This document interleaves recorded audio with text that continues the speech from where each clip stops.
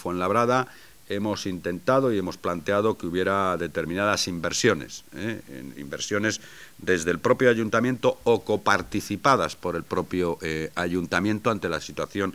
económica y que además generase actividad económica en la propia ciudad. Dos ejemplos claros han sido eh, la ciudad deportiva oeste, la, ciudad deportiva Fernando Torres, donde en números globales eh, a lo largo de estos años se ha invertido cerca de 30 millones de, euros, de los cuales en torno a 16, 17 millones se ha planteado a través de la iniciativa de gestión privada en cuanto a que ha realizado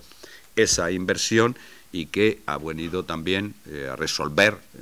no podía ser de otra forma, pues una situación de, de, inversión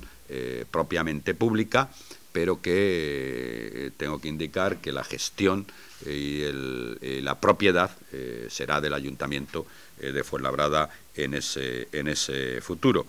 Y desde luego lo más importante, también de forma coparticipada con la Comunidad de Madrid, esto sí, es el polígono Bañuelo,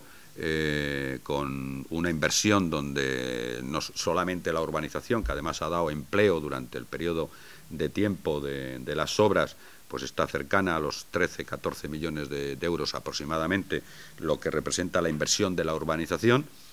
Hemos conseguido un objetivo que si algunos de ustedes estuvieron con motivo de la puesta de la primera piedra de urbanización, lancé el reto al anterior consejero de, Economía y Hacienda de la Comunidad de Madrid, hoy secretario de Estado, el señor Beteta, de reducir el precio del eh, suelo con el fin de favorecer la implantación de nuevas eh, empresas en la ciudad y, por lo tanto, generar economía y generar empleo. Hemos tenido éxito y en el último Consejo de, Administración hemos aprobado, eh, mutuo acuerdo, la comercialización de esas parcelas a 198 euros metro cuadrado, cuando,